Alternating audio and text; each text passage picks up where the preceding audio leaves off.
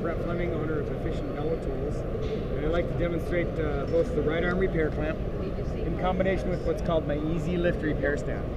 Now this clamp fits into any park uh, PRS receptacle, so this part fits into a park clamp. But combined with my stand, you have adjustable height. The clamp itself works like so. You just stick the bike in, tighten the handle till it contacts, go about one half turn, and then the bike is firmly clamped. In this particular stand, we can loosen this binder, and then with the assistance of a counterweight that's hooked to this cable through that pulley, we're lifting the bike with 18 pounds of assistance. So it's very easy to lift a bike to any height you want because you're getting a little bit of help. And you can go clear up to here if you need for scrutinizing, reading serial numbers, etc. The beauty of the stand it can allow you to have straight back for any working height. So if I'm checking the gears of the bike, I can say, well, this is a little too high, go a little bit lower, maybe here, lock it down, tilt the nose down. This is the rotational binder. And then now I can very comfortably check the gears. Oh, this is still a little high, no problem.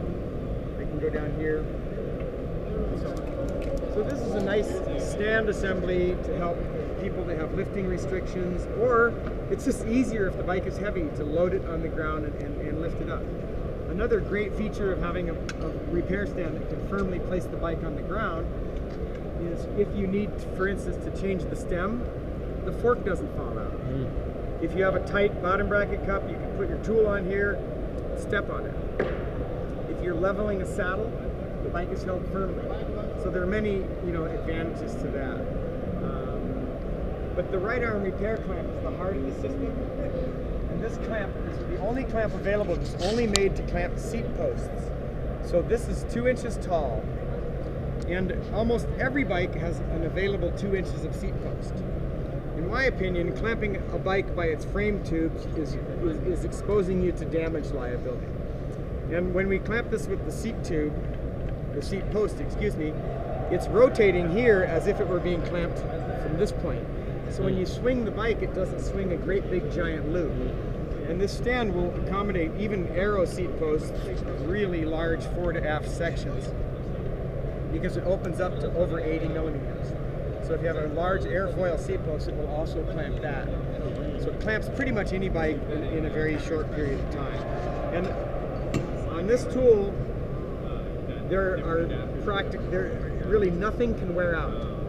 On competitive clamps, there are many little parts and mechanisms and moving parts, whereas this is just basically a couple moving parts. And these threads are very substantial, and they're pretty much never going to wear out. The very first one I've made is being used every single day in a bike shop, zero wear. The pads are made of leather, they grip really well, they're very affordable to change. That's the only maintenance item that you need to do on the stand. And it's so well loved by mechanics, pretty much once a mechanic tries it, they won't use anything else. That's the feedback that, that I get.